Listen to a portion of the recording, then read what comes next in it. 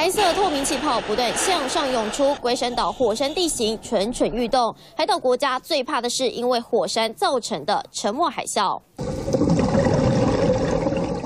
两千年，龟山岛周围海域监测到火山喷发，也被视为海啸警示范围区域。台湾附近岛屿除了龟山岛、彭佳屿和棉花屿，都属于海底火山地形。未来猛暴型火山喷发，恐怕引起海啸，甚至不易察觉。海底山崩是最不可预测的，因为它它不会不会前面没有什么。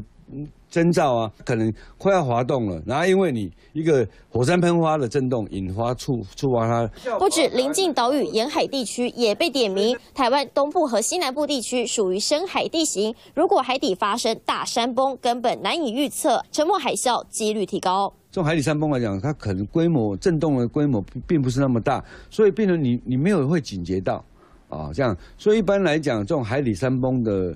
引发海啸的时候，你要有预警的效果，其实是不好的。